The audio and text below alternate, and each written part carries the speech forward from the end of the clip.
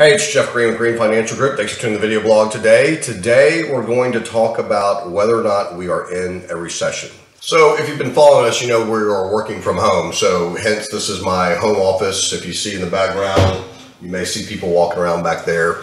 I have the team here. They're in the dining room. I'm in here shooting a video. So, anyway, I want to talk about recession. And I get so frustrated with this because uh, I've come to the conclusion that politics makes us stupid. It really does. And the reason I say that is because all of the talk about recession, yes, we've had two quarters of negative growth. That is not the definition of a recession. Maybe if you look in the dictionary, that's what it says, but it is not the definition of recession. There is only one organization, one entity that can determine uh, a recession in our country, and that is the National Bureau of Economic Research. You can go to nber.org and look up the definition of recession. It is a very broad definition. And in that definition, nowhere does it say that if you have two quarters of negative GDP growth, that's a recession. The NBER looks at many factors. If you look at the chart on your screen right now, you're going to see uh, six of those things that the NBER looks at. You have personal income, payroll employment, civilian employment, consumption, retail sales, industrial production, out of those six things that the NBER looks at, five of them are positive. If this is a recession, this is the best recession ever. So, uh, you know, yes, uh, Q1 fell 1.6% uh, in GDP. Q2 was 0.9% in GDP.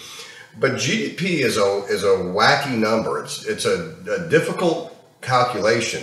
People look back at 2020 uh, and say that, that we were in a session then. I, I would disagree. That was not a recession. That was a lockdown. And if we were in a recession, uh, then we're in recovery. But we're not in recovery. We are in, you know, we're, we're opening the economy back up. And those are, it's very different. And a lot of the terminology being thrown around today, I think, is wrong. Um, because of, we did unprecedented things with a lockdown and it's creating unprecedented numbers. You've got, um, you know, actually, we do have really good job growth. We have, uh, I think, for the past first half of this year, we've averaged 450,000 jobs per month. That is huge. That's a big, big number. That's the first in the first half of this year. Um, revenues and uh, the S&P 500 reporting earnings. Revenues are up 10 percent. Uh, profits are up 3%, and 70% of the companies reporting are beating their estimates. So the economy is doing well. Is it softening? Yes. But you're looking at things like retail sales, which is since 2020, during the pandemic, since the pandemic, are up 30%. Now that is a crazy number. That's that's and it's not necessarily a realistic number if we had never locked down the economy, then you might see retail sales averaging, I don't know, five, six, seven percent. So that's a more realistic number. So eh, there's a lot of wacky things going on with the numbers in the economy right now because of the shutdown. But one thing I am clear of is that we're not in a recession. We're just not. GDP is only one factor that the NBER looks at. So you can't just say because of two quarters that's recession. The first quarter was uh, some inventory issues there, and inventories very negatively towards GDP. Won't bore you with all the calculations, uh, other than to say that we do not believe, in our opinion, that we are in a recession.